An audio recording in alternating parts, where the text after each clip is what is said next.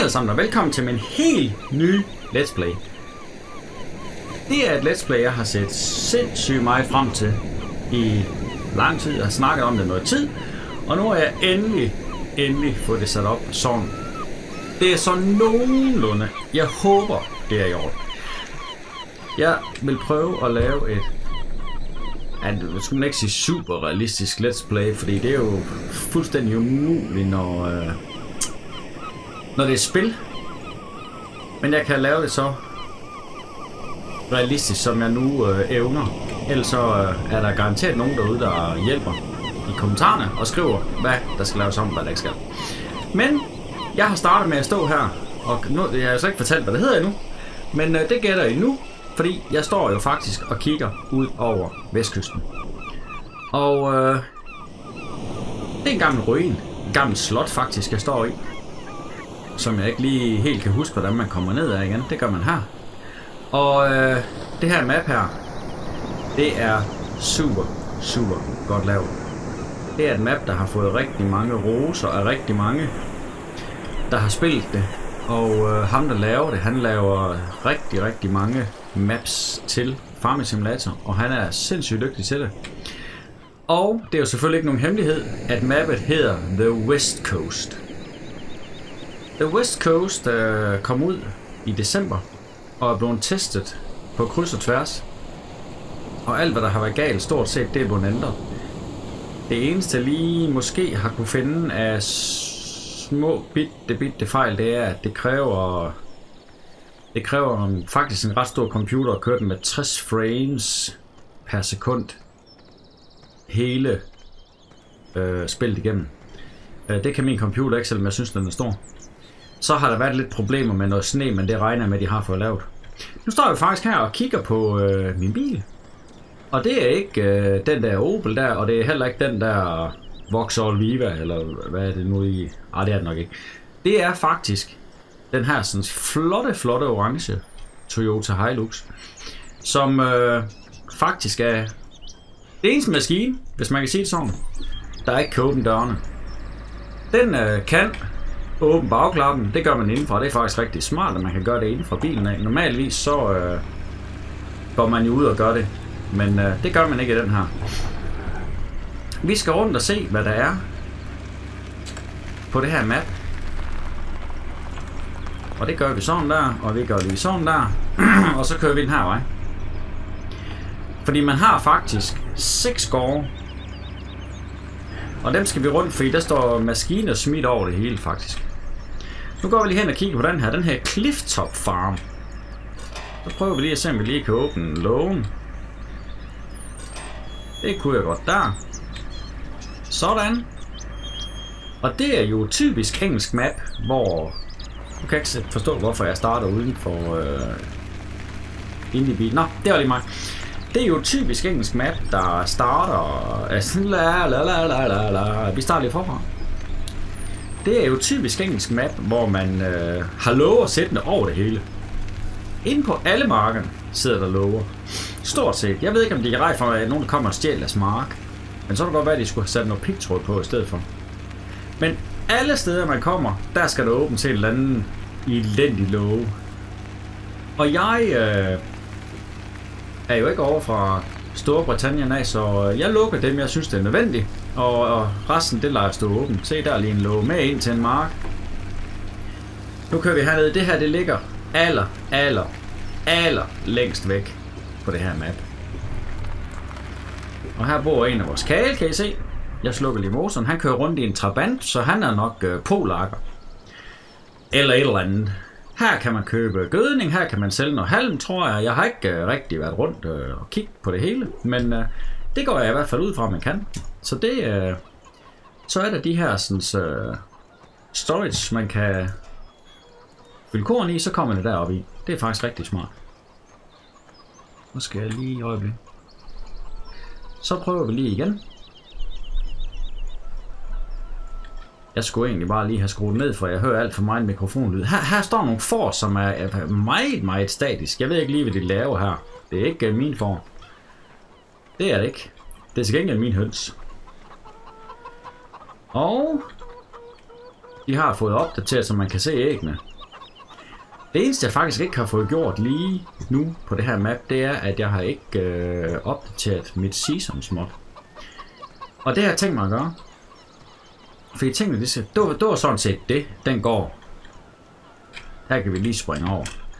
Øh, det her, ja, nu har jeg faktisk set det hele. Der er ikke noget som helst her. Der er lige en låge her, vi lige kan åbne. Der var ingenting, så lukker vi den lige igen.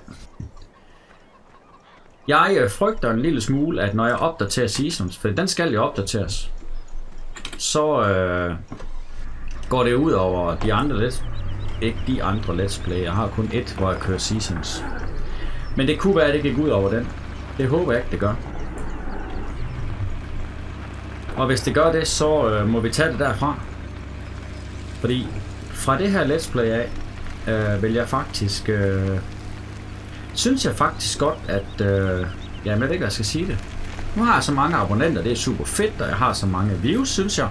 Det er super fedt, at nu øh, kan jeg godt begynde at gøre tingene ordentligt, og ikke så meget tænke på øh, så mange andre tænker, og åh nej, og hvad nu hvis, og sådan, sådan, sådan. For så opdaterer seasons nu, og det ikke går ud over noget andet, så er det jo gjort, og så er spillet jo sådan, som det skal være. Jeg øh, er faktisk heller ikke klar, om man skal køre med lys på over i England. Men øh, det, det prøver vi lige. Det, det skal jeg nok lige få googlet. Til næste episode. Og næste episode, den øh, kan I faktisk være en lille smule med til at bestemme, hvornår kommer. Fordi lige nu har jeg jo to Let's Plays kørende. Og jeg så ikke have tre. Det er for mig et. Øh, to, det er faktisk... Øh, jeg skal lige have den låge der i. Og så lukker den der. Flot. Clifton Farm. Så er ikke det. Cliff Top. Jeg har besluttet mig for, at øh, den måde jeg afgør på, om den her den skal ligesom overtage lige nu en af de andre, eller det skulle den jo på et tidspunkt, men det kan vi faktisk allerede være med til at afgøre, om den skal gøre nu i løbet af meget, meget kort tid. Uh, det kræver egentlig bare, at uh, ikke fordi jeg er sådan en like-rytter, jeg siger aldrig, at jeg vil have likes, og jeg siger aldrig, at jeg vil have abonnenter, og, ikke, at, og det gjort to gange, tror jeg. Lige i starten. Men uh, hvis den her den får flere likes end nogle af mine andre videoer, så er det den her, der bliver min primære let's play. Og så sidder jeg og tænker, ja, men hvor mange af likes er det? Det vil jeg ikke sige. Det er jo for nemt. Men øh, nu kører vi, og jeg skal huske, at jeg skal køre i den anden side. Nu tror jeg, vi kører til... Vi kan lige åbne den der, vi holder. Der, så kan vi egentlig køre til højre. Kan vi ikke det? Eller er det nemmere at køre lige over for... Vi kører lige over. Nu kører vi i hvert fald lige alt først ud, så vi kan se, om der overhovedet kommer nogen. Det gjorde der jo der. Lige over. Ej, jeg skal huske at køre i venstre side. Det glemmer jeg garanteret en masse af gange. Herinde har vi, øh, herinde sælger vi uld. Det er en det eneste, man lige kan bruge det til, så det ud til. Jeg har som sagt ikke rigtig været rundt og kigge, hvad det egentlig er. Øh, jeg har opdaget, at der er rigtig mange steder, man må gå over i... Øh, og tværs over folks marker må man gå. Sådan en footpath her det. Det er sådan nogle små stier, der er blevet lagt. Og så er der meget bakket, kan jeg godt se. Og det kræver altså noget af nogle traktorer at komme op af de her bakker her. Men nu prøver vi lige at se, om vi kan... Øh, ja, nu kører det lige over i den anden side der, men det øh, kan man godt. Når man kører ud på sådan nogle små øh, kringelveje, så er det nogle gange, så er man altså simpelthen bare nødt til at køre over i den anden side. Jeg ved heller ikke, hvor hurtigt man må køre her, faktisk. Det vi lige kørte forbi der, det er sådan en eller anden stengrav, eller grusgrav, eller et eller andet. Øh, som er ikke helt... Øh, hvor vi... Øh, vi kører til øh, venstre her, tror jeg. Det gør vi ikke, nej. Hvor... Øh, vi kører til højre først. Ind på noget her, der hedder Little Woolhope Farm. Det kunne faktisk godt lyde som om der var får herinde og noget med uld, uldhåb. Og herinde må vi da heldigvis køre sådan ligesom jeg lige synes vores pickup den kan klare. Det ligner en gård. Det ligner også noget, man kan sælge noget strå der. Ikke bare lige smide os bil her midt i det hele. Vores bil midt i det hele. Så kan vi lige prøve at gå rundt og kigge, hvad der er her. Der står lige en uh, bale wrapper. Der står en øh, uh, presser der faktisk. En øh, uh, Massey Ferguson 190. Det er til noget mini bigger. De der standard 4000 liter spaller, som alle presserne stort set kan presse. Og hvad har vi her? Så har vi noget gyldeværk. Nå. Det kommer vi også til at skal bruge meget i dag, faktisk. Så prøver vi lige at hoppe herover. Her står der altså nogle køer, som egentlig heller ikke rigtig er mine. Jeg ved ikke lige om... Hvorfor der er... Men det er nok... Øh, det giver lidt liv. Her har vi mere, øh, vi kan fylde i for at opbevare noget korn. Jeg hopper lige over dem her. Kan jeg sange, jeg er jo smidig som en ninja. Så render vi herom. Her er noget... Hvad er der herinde? Ingenting. Det mærkelige ved de her låge her, det er, når man møder en rusten låge, så åbner man ved at trykke på venstre musknap og lukker ved at trykke på højre. Det gør man ikke ved alle lågene. Nogen skal man bruge den samme. Der kan vi opbevare en hel masse. Så har vi, så har vi noget ensilage siloer der. Planklipper, her kan vi nok købe noget gødning eller et eller andet. Planklipper, donkraft, hækklipper. Det er faktisk næsten... Der bor nok over en kal herinde. Det var den går. Vi lige fik at se. Der er ikke mange maskiner, vi har set indtil nu, synes jeg faktisk ikke. Men det kommer nok. Jeg har fået fortalt, at der er stort set alt her. Jeg ved lige om det her det er den eneste vej, man kan køre ud. Det kunne det faktisk godt være. Så den tager vi. Bum med lum. Så har jeg lige prøvet at installere en ny Realistic Game Engine for at se om det hjælper lidt på det, fordi øh, det er ikke sikkert det gør det. Jeg synes det er lidt træls når man høster og sådan noget, at det ikke rigtig giver noget i halm. Det ser i hvert fald ikke sådan ud. Hvad står der her og vej op til øh, kø? Kø? Køerne. Der står skilte faktisk, hvor øh, når man skal dreje op til sin... Øh... ej, jeg kører alt for stærkt. Jeg er nødt til at... Jeg kan ikke forstå, hvorfor den der den nogle gange kommer ned på... Nu står den lige på 20, den der, hvor hurtigt, men jeg tror, man kører 80 her faktisk. Vi kan nøjes med at... Ikke halvanden 100, nej. Sådan der. Det var bedre. Så kan vi også lige... Øh, så kan vi lige nyde det flotte landskab. Så er det her, vi skal ind. Er det ikke nemt at se den bil her? Den blinker faktisk.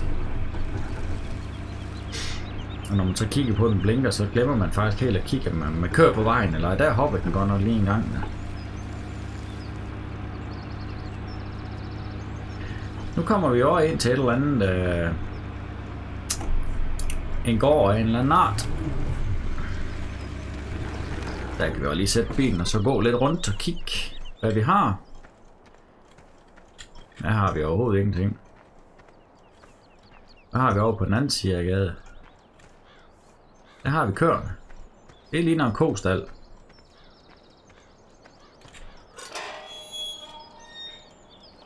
Hvad foregår der? Nå!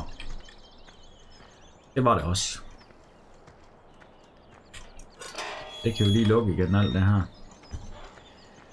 Så kan vi lige se, hvad har vi? Hvad har vi? Der havde vi noget mere gyldetanker over bagved, og så hvad har vi herinde? Der har vi en presser. En lille Lely Tornado, og så har vi en en rive, der øh, holder helt inde i væggen. Nå, det er der simpelthen ikke noget at gøre ved. Så lukker vi lige den igen. Og hvad har vi så? Så har vi en silo, og så har vi sørme en skovlægger. En John Deere skovlægger. Som enten så er den ved at blive klappet ud der, eller så øh, er en lille smule utæt i en af slanger, så den bare sænker sig lige stille. Det håber jeg ikke, så bliver de tønder herovre der kvæst. Det ser vi.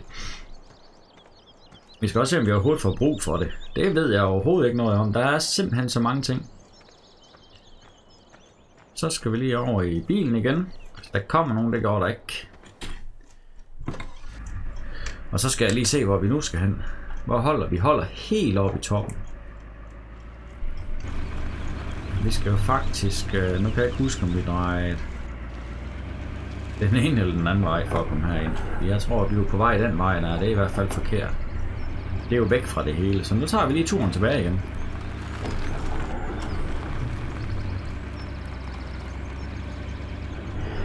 Det er også bare lige det første kig. Og så for at se, om det er noget, vi skal starte på med det samme. Fordi hvis vi skal det, så kunne jeg godt finde på at køre den her tre dage i ugen. Og så køre Losberg og The Old Stream. En dag indtil i hvert fald The Old Stream er færdig. Der er ikke andet end 5-6 episoder tilbage i den, tror jeg ikke. Så det er begrænset, hvad vi kan lave, fordi den er ikke ret stor, den, øh, det map.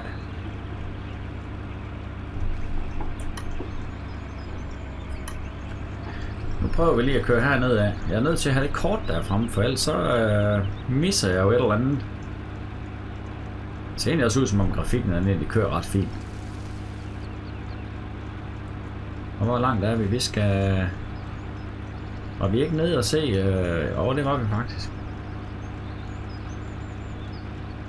Hmm. Det var vi. Og her tror jeg lige, vi prøver at køre til venstre.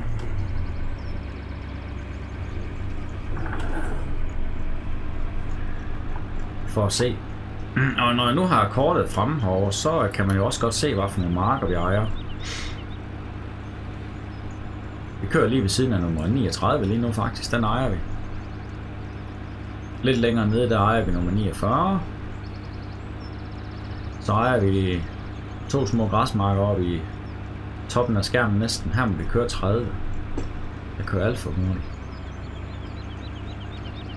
Det gør stadig. Ej, det er nok 30 miles, når det er oppe i England. Det er omkring 45.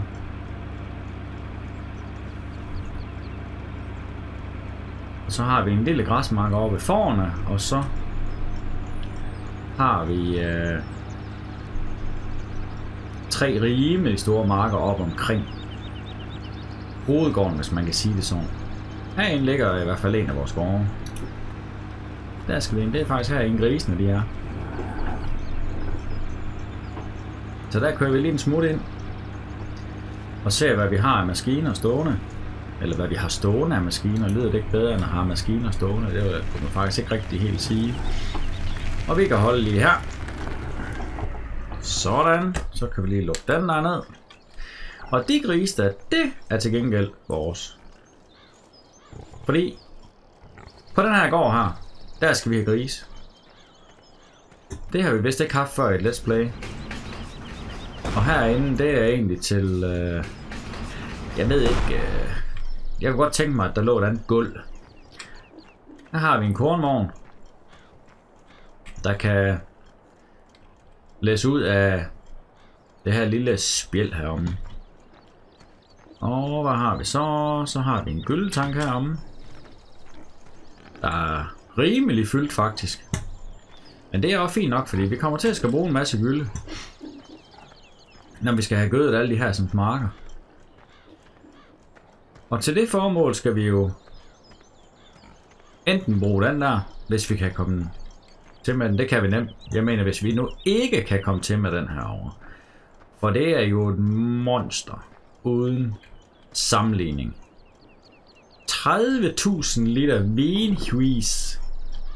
Han er fra Holland. Et kæmpe skrummel at køre med. Men uh, det er lækkert. Så kan vi hurtigt få gødet nogle marker. Det er også meningen. Og så har vi traktor med en lille skovl, som skal køre og passe grisene hernede. Det er en lille flikelskovl, derovre, det køber det så et lille mærke på. Der kan man ikke, øh, det kunne man ikke, nej. Jeg skulle lige se, om man kunne zoome ind. Og det er en Deutsch, som kan åbne dørene. Og der er IC inde i den. Der er lidt af alt muligt, faktisk. Det er rigtig fedt, den kan åbne forruden. Ikke fordi, at jeg synes, at det er så praktisk, men... Øh, jeg gik jo efter nogle traktorer og maskiner, der kunne øh, åbne dørene. Det eneste, jeg ikke kunne finde, der kunne åbne døren, faktisk, det var bilen her. Og det, Øh, det kunne, jeg kunne simpelthen ikke finde en bil, jeg var tilfreds med, der kunne åbne dørene. Og det er jo heller ikke, øh, nu er det ikke et bilspil, så jeg tænkte, det er godt nok ikke så meget. Ikke den vej her, hvis det var ikke noget her kommer fra. Så hvad mangler vi så at se? Hvad mangler vi så at se? Det kan vi lige prøve at kigge her. Vi har set den, og vi har set den røde og den grønne, og vi har set den gule og den orange, Nu mangler vi egentlig kun at se den blå. Det er hovedgården. Så der kører vi lige op. Hvis jeg kan finde vej. Nu skal jeg kigge på det. Man skal aldrig kigge kort, når man kører. Det var lige ved at gå galt for mig der faktisk.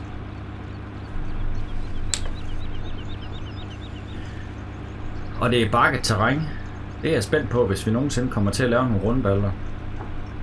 Hvor de havner hen, fordi at øh, der er ikke øh, noget kollision på øh, hækkene. Og, men derfor kan det godt være, at det stopper alle ballerne. Det tør jeg ikke sige.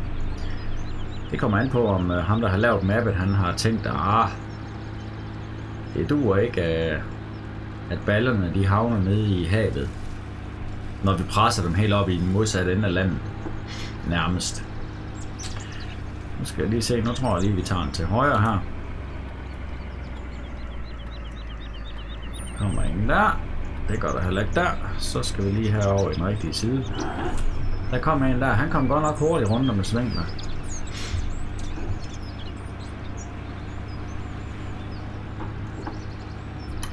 Jeg tror lige, vi sætter den på... Hvad kan vi sætte den på? 60, tror jeg. 60, det er fint. Og grafikken, den, øh, det var faktisk den, jeg var allermest mere spændt på, fordi den har...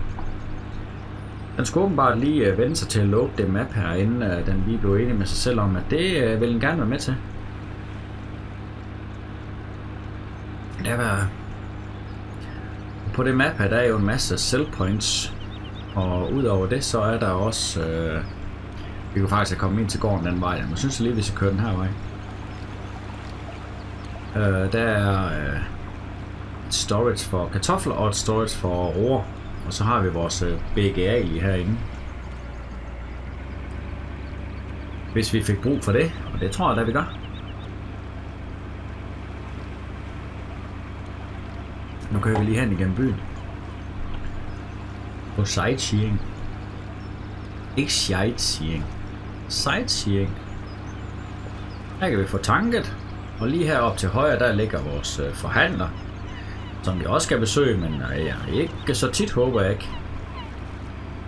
Ja, de bremser bare. Der er ingen af de andre, der kører med lys på, synes jeg ikke. Gerne nok det, man ikke skal det. og her har vi en bro. Den skal jeg lige under der, så jeg ikke lige slår panden. Så kan man faktisk se, hvor skår den ligger op på højre hånd. Deroppe. Og der drejer vi her. Nej, vi skal lige lidt længere frem faktisk, så skal jeg lige... Hvis man så lige holder her, så kan man se, Welcome til Wales. Så lige nu der holder min bil faktisk med motoren og lidt af førhuset på, øh, i Wales. Men øh, sådan deler man nok landet op derovre. Jeg vil lige køre herind og vende. Det er nemlig også vores det her. Det er faktisk vores kartoffel opbevaring. Og derover, I kan se lige midt i billedet over min bil, der er der opbevaring til roer. Så det er meningen, man skal have kartofler og roer på det map her. Det er ikke så mange, der har kartofler og roer på deres maps. Men det skal vi have. Vi skal også have alt muligt andet. Og når vi har grise der, så kræver... Det var her, vi skulle dreje. Håber jeg. Så nu er det, den begynder på dens øh, hakken en lille smule heroppe mod hovedgården. Det kan jeg simpelthen ikke forstå. Men, må ikke vi overlever det. Så er vi faktisk ved at være rundt. Og her er også en låge ind, og den har jeg faktisk øh, overhovedet aldrig nogensinde tænkt mig at lukke. Det gider jeg simpelthen ikke. Og bilen den kan lige holde der. Sluk lyset. Sluk bilen. Ud. Sådan. Så skal vi rundt og kigge, hvad der er. Der er her, nu kom der lige sådan en kæmpe stor skilt. Det er sådan en støvsuger. Den kan suge øh, næsten alt op faktisk. Jeg ved ikke lige, hvad man bruger den til, men øh, det kunne være, at den kunne bruges nede ved grisene til at gøre ren. Nede ved dem. Og så herinde, ja det skilt det forsvinder jo lidt. Der er der ballespyd. En skål. En... Øh, en vrapkrab, tror jeg faktisk det hedder. Og øh, palgaffel. Og herinde har vi også en af vores mods, som vi aldrig har brugt før. I kender den nok alle sammen. Melo Telly handler. Den er øh, turbofarmer. Den har jeg kørt en lille smule med. Den er rigtig fed. Så den glæder jeg mig til at køre meget mere med. Specielt når vi skal læse et halm og sådan noget. Det bliver spændende. Sådan. Så går vi herover og kigger. Her står der en gødningsbrød af en eller anden art. Der må stå et eller andet navn. Det gør der også der. Kan vi ikke sætte os ned? Den her Rausch. Øh, der kan nok være en, hvad? 3000 liter i den. Så har vi en kun såmaskine.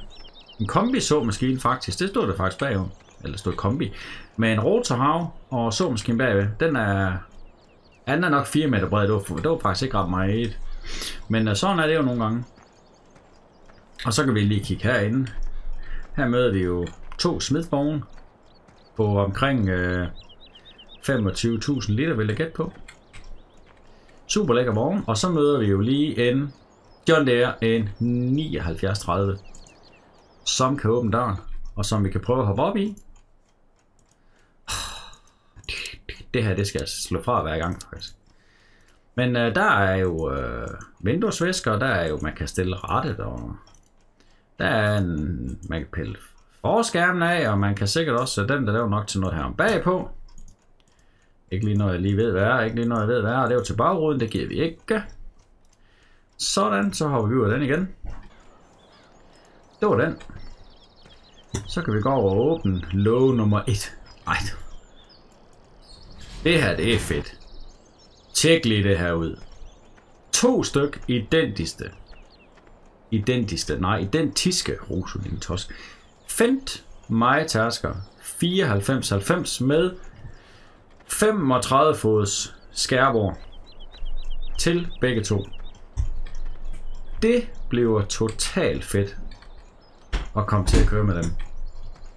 Det glæder jeg mig til. Der er for et øh, lys herinde også. Hvis der er mørkt, når man kommer hjem fra høst, så skal vi have den lukket. Det gør vi med højre museknap. Det er en rusten dør. Og så er der en... Tak. Og det, det er også til lys, det ved jeg godt, men det er når man kigger op på, så kan man se det der støv eller dis eller hvad det er. Det er rigtig, rigtig godt lavet. Det slukker vi igen for at spare på strøm, fordi jeg tror ikke, at det er en LED-pære, der sidder i faktisk. Nej, det er det faktisk ikke. Jeg ved jo ikke noget om, det er jo bare fis. Så åbner vi herind. To ret store maskiner. Fendt 936 var jo den åbner man lige døren sådan der. Hopper ind. Hop, hop, hop, Så skal man lige vente til, at man skal holde knappen, inden man skal det her på nogle af traktorerne. Der er også, øh, der kan man stille ret. Der er ikke ret meget, man kan i den her faktisk. Det er ligegyldigt. Der kan, det er, den kan det, vi skal bruge den til. Og jeg åbner dørene, og det har jeg faktisk tænkt mig at gøre i hele hele det her let's play. Nu skal jeg så bare lige have fundet ud af, hvordan den lukker den igen. Hvis jeg, kan, hvis jeg ikke kan lukke den igen, så gider jeg simpelthen ikke at, at åbne og lukke. Det var da mærkeligt. Sådan der, skal du bare have fat i håndtaget. Og den her, den er endnu, endnu federe. Det er en New Holland til 7. Jeg vil gerne have haft en T8. Det kunne jeg ikke finde. Ikke en, der kunne så mange ting som den her. Og den her, den er virkelig fed. Den har IC. Rettet frem og tilbage. Rettet op og ned. Det er sådan set fint nok. Det er der mange, der har. Og så har den lige her. Det er de bagerste liftarme. Den lige kan hæve. Det kan I se. De kommer op. Den der. Det er de forreste liftarme. Det skal man så ikke lige gøre, når man har en vægt på. Vi har altså ned igen. Så de lige kan sætte fast på vægten. Sådan, og så kan man topstangen og den der, det er til at åbne motorrummet. Og den er virkelig detaljeret. Og der kan man åbne den der der. Her kan man åbne. Jeg ved ikke, hvad den er til. Det var fuldstændig ligegyldig. Det skal vi nok finde ud af. Den er virkelig lækker.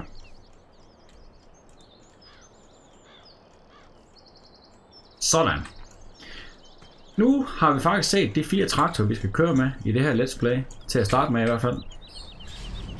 Bang. Så går vi herom og kigger, fordi her er jo fyldt pakket med alt muligt.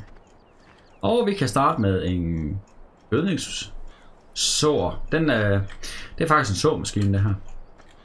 Øh, den kan have gødning med i, og så øh, kan den her faktisk have gødning også, hvis man kan sige det så. Og det er faktisk, dem har vi faktisk to af. Så vi kan rigtig få så en hel masse.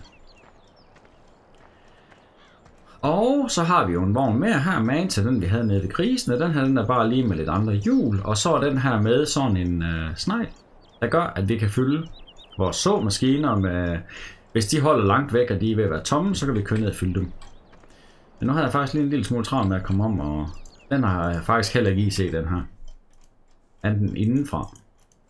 Og den har ikke, øh, den har også på døren, men det er også kun indenfra. Det er en sprøjt. Det er jo ikke nogen hemmelighed. Det er en uh, Challenger. Rogator hedder den. 36 meter. Det er noget af et bæst at komme ud og sprøjte med, faktisk. Så den uh, glæder jeg mig rigtig meget til at komme til at køre med. Den har ikke sprøjthjul på, så den ødelægger alt, hvad den kører i. Det var faktisk rigtig irriterende, at den lige gjorde det, men uh, sådan er det jo nogle gange. Men nu uh, skal vi faktisk fordi der er faktisk... Øh, hvad har vi glemt? Vi har glemt et eller andet. Vi har glemt et eller andet. Øh, den og den og den. Jeg selv lige kigge på et stykke papir, faktisk. Nede ved forne. Hmm, der har vi da været nede. Hvor har vi forne han? Det har vi hernede. Bunden, der må vi heller lige komme ned i en fart. Jeg tror lige, vi tager bilen igen.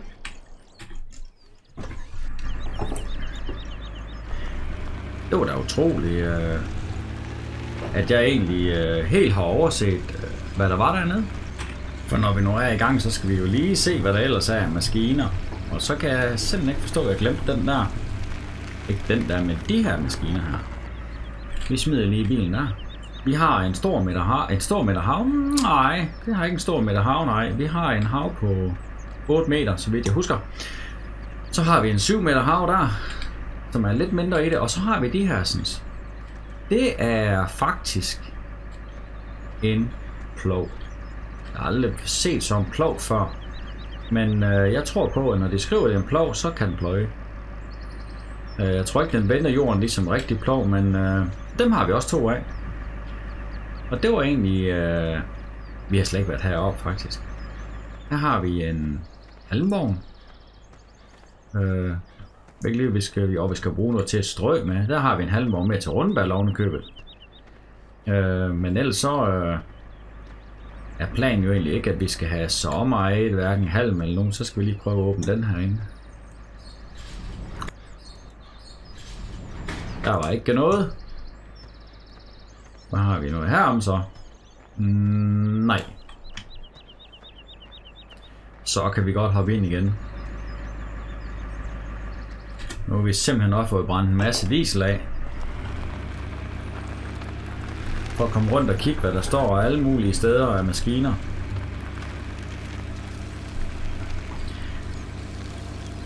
Så skal vi se, om jeg kan finde hjem igen. Det er ikke sikkert, jeg kan det. Og alle markerne i Seasons, de starter jo fra 0 punktet.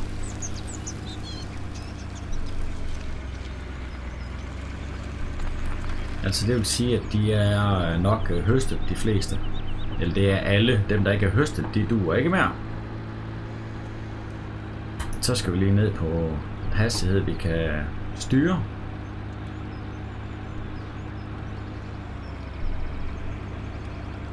Okay, jeg ikke huske, hvad vi skal. Vi kunne faktisk godt have drejet der, men øh, nu prøver vi lige en anden vej. Fordi jeg lige har glemt det. Og den vej her til højre, den går vest, den kan vi lige prøve at tage. Den går bare rundt herinde i byen. Og kommer ud igen længere hen i byen. Det er lige meget, nu prøver vi den. Så kommer vi også lige ned forbi vores BGA, vores biogasanlæg. Tål var der ikke, og herinde til højre, der har vi vores... Der kører vi vores maskiner, og herinde til venstre, der kører vi og vores dyr. Og så kører vi her, har vi været en gang. Det er lige meget. Så, og det fine blinklys på fodgængerovergangen. nu må vi se, hvor hurtigt bilerne de har tænkt sig at køre her. Det er nok ikke særlig hurtigt.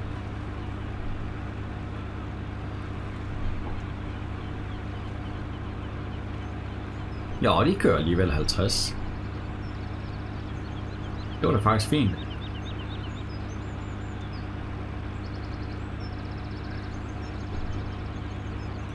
Ej, jeg kører måske også lige tæt nok. Hillridge Farm hedder vores hovedfarm.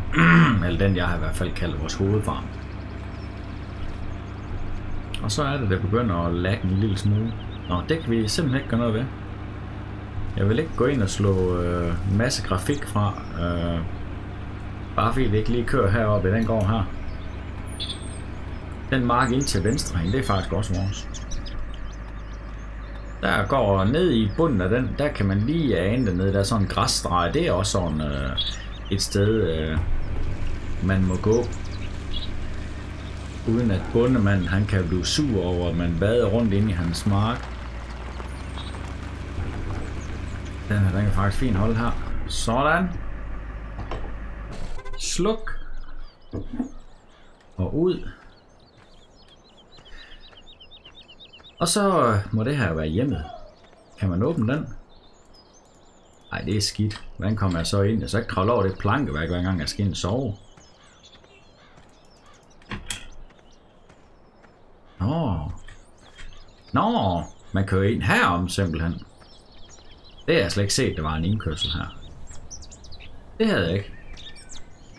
Nå, det må være konens øh, Toyota Camry, der holder der. Uden nummerplade på. Det er jo ikke noget, jeg praler af, at man har en bil stående uden nummer på. Nå, pyt med det. Det første kig på det map her er ved at være færdig. Hvis det skal øh, med det samme gå ind og afløse en af de andre, og vi skal lave tre episoder om ugen til at starte med, så skal den gerne opnå flere likes end den video, jeg har haft, der har fået flest. Og øh, hvis at den gør det, så kører vi den tre gange i ugen, indtil The Old Stream Farm er færdig. Og så får den her en dag mere i ugen, indtil Losberg måske bliver færdig. Der er ikke ret mange, der vil af med Losberg. Men øh, det kunne være, at det let's play her, det bliver en lille smule federe. Det ved jeg ikke, om det gør. Losberg, det var egentlig nærmest den, jeg... Jeg ved ikke, man skal sige, blev kendt på. Men det, øh, det var der, det begyndte at accelerere med abonnenter og ting og sager. Så derfor er jeg ikke så vild med lige at smide den væk, når der er nogen, der gerne vil have, at beholder den. Så det har jeg tænkt mig ikke at gøre. Men øh, nu har jeg tænkt mig at se, om jeg kan finde en øh, indgang. Her, bagindgang, så kan man smide sit øh, beskidte staldtøj. Og øh, med det vil jeg sige tusind tak, fordi I så med. Tusind tak for i dag. Vi ses i næste episode. Hej så længe.